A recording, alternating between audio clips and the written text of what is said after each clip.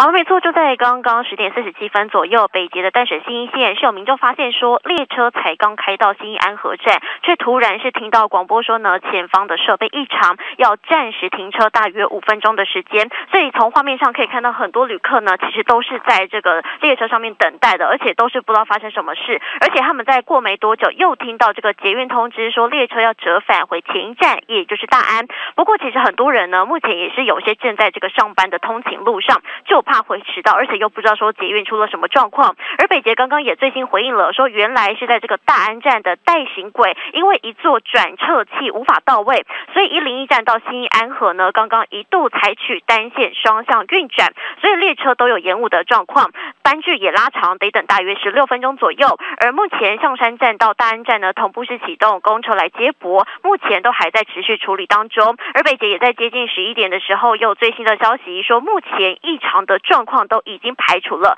但是在这个大安站之后的这个延误状况呢，还是得做调整。稍后如果有最新讯息，都将持续为你掌握。主播，请支持一个专门报道国际新闻的全新 YouTube 频道 TVBS 国际 Plus，扩大视野，掌握趋势，请订阅并开启通知小铃铛。